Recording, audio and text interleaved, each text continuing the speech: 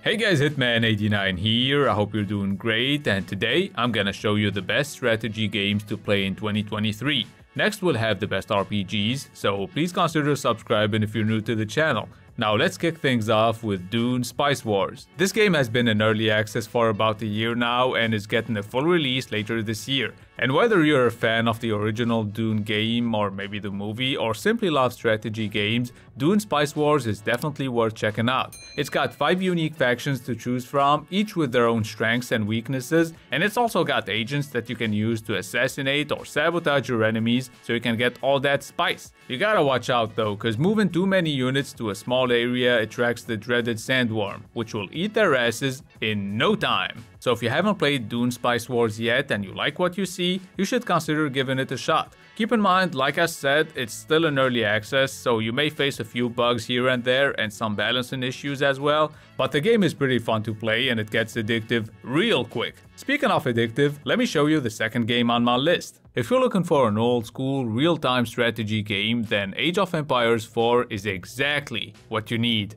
It came out a couple of years ago on PC, but the reason I'm recommending it to you guys today is because it's finally coming to Xbox later this year, which I think is awesome. But the pathfinding and AI are still terrible. You could get invaded, have your buildings destroyed, your villagers killed, your resources stolen, and your soldiers would be just standing there, chilling, two feet away like the pieces of shit they are, waiting for you to tell them whether they should do something about it or not. Anyway, moving on to the third game on my list, The Settlers New Allies. Now I'm just fucking with you, it has pretty much nothing to do with the Settlers and it feels like a mobile game. So, instead, we're gonna be looking at Humankind, a civilization-like game where you start with a bunch of primitive hunter-gatherers and you gotta collect enough food to survive and evolve. In my opinion, what makes this game dope is that every time you start a new era, you can completely switch your civilization's culture. Plus, each game lasts an eternity, so if you're looking for a good strategy game to dive into and that'll keep you busy for the rest of your life, Humankind could be it. It's also incredibly replayable, and even though the combat system is a little too simplistic, it's still much more interactive than Civilizations. By the way, make sure you manage your cities properly before you expand a little too fast and end up with rioting and starving cities everywhere. That's basically what happened to me. Anyway, at number 4 we have a completely different type of game. 17 years after the first Knights of Honor game, we finally get a sequel. Although it feels more like a remake, so if you love the first game, you'll most likely love this one too. But for those of you who are new to Knights of Honor, it plays like a tabletop strategy game and during battles, it allows you to control your army, just like a Total War game. Except this one goes deeper, while remaining more accessible than let's say Crusader Kings 3. Oh, and if you don't want to end up losing quickly like I did, don't let anyone drag you into their conflicts. Cause I was chilling, making some money and planning my moves carefully, and then the Pope declared the crusade. So I built an army to help take Jerusalem. In the meantime, the Romans sent a big ass army, so instead I pillaged Damascus thinking my allies would protect me. But the second they took Jerusalem, those motherfuckers packed their shit and left me there to die. Anyway, let's move on to a game I can actually handle, Mount and Blade 2 Bannerlord. What sets this game apart from, let's say, 99.99% of all the other strategy games out there is that it mixes real-time strategy with RPG elements. So on Mount and Blade 2, you can found your own kingdom, lead your troops to victory, and control your character in battles, but also when visiting towns, talking to NPCs, or even when having sex with your wife. The last part is obviously not true, but you can marry any bitch you want, as long as you're okay with them being ugly as fuck.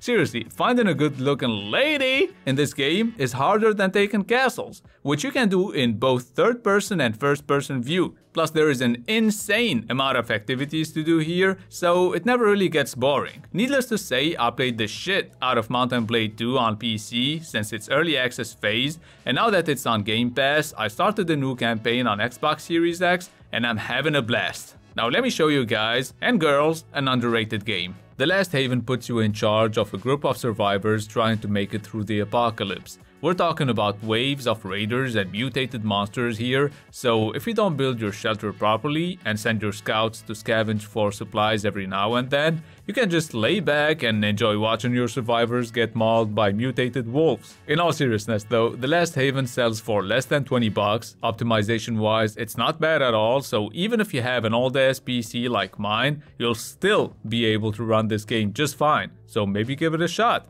But if you're not interested, then maybe you should take a look at this game. The Valiant is a squad-based real-time strategy game made by the guys behind Sudden Strike. You play as a crusader and it's pretty straightforward, so even if you're new to the genre, it'll only take you a few minutes to get the hang of it. The voice acting and music are great, but the sound effects are just lame. On the other hand, the campaign is really interesting, and that's coming from the guy who tends to just play skirmish mode. Let me know if you're like me. Oh, and at the moment of making this video, the Valiant is only available on PC, but it's coming to PlayStation and Xbox sometime this year, so if you like what you see, make sure you grab the game for cheap, cause I honestly wouldn't spend more than 25 bucks on this one. Alright, let's talk about the next game. Old World released on Steam last year, and it just received a new DLC called The Sacred and the Profane, plus I loved playing this 4X game and I found it quite unique. That's why I decided to put it on my list. As the name suggests, Old World is set in a historical context, so no matter how long you play it, you won't reach a modern day era. On this game, time flies by quickly, each turn represents a year, and people have realistic lifespans. So don't get attached to your leader too much, cause that motherfucker will die in no time. But that's not really a big deal, cause on this game, always having a great successor ready to take over when the time comes is what's gonna keep your nation on top. I didn't know that when I first started playing Old World and I didn't really focus on educating my son, so I had to play as a loser for like 30 turns until that bitch finally died and his uncle took over. Apart from managing your kids and family, you'll be building cities, exploring the world with your scouts and interacting with other nations. Speaking of which, every decision matters on this game, no matter how insignificant it may seem. Because yeah, there are tons of randomly generated events that you're gonna have to deal with, and if you're not careful enough, it'll only take you a couple of turns to realize you fucked up big time.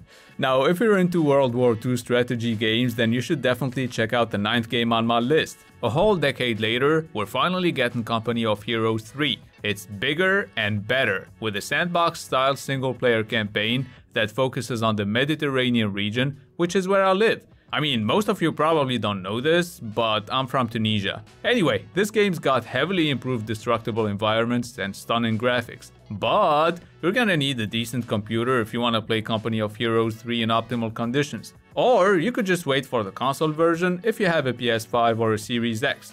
Last but not least, we're gonna be looking at Farthest Frontier. At the moment of making this video, Farthest Frontier is still in early access, but by the time most people find out about my shitty channel, I think the final version of the game is gonna be out. So Farthest Frontier lets you build a town in the middle of the wilderness. You'll have to harvest materials, hunt and farm to make sure your people survive. Oh, and the game takes place in the Middle Ages, and back then there were no fridges. Uh, don't forget to hit the like button for more useless facts like this one. For real though, since food goes bad after some time, you can't just keep on harvesting it and storing it mindlessly or your population will end up starving to death. I don't know about you guys, but I think unique challenges like this make Farthest Frontier interesting and different than most city builders and survival games. I think even in its current state, it's definitely an excellent game to play while waiting for Manor Lords. Oh, and before I let you guys go, here are a few honorable mentions. Spellforce 3 Reforced has its gameplay divided into two parts. The real-time strategy part where you build and manage your base, gather resources, train and control your army, and the role-playing part where you use your hero to explore the world, interact with NPCs and level up. Another game I think is worth having is Anno 1800. I loved playing it back when it first came out on PC, and now that it's finally coming to consoles, I might play it again. Now for those of you who are Warhammer fans, you probably already played Total War Warhammer 3, but if you haven't and you like massive battles with tons of epic creatures, then you should probably get it when it's on sale. But if you're not really into commanding huge armies and you'd rather manage relationships, resolve complex diplomatic issues, and have sex with your cousins, then Crusader Kings is what you need.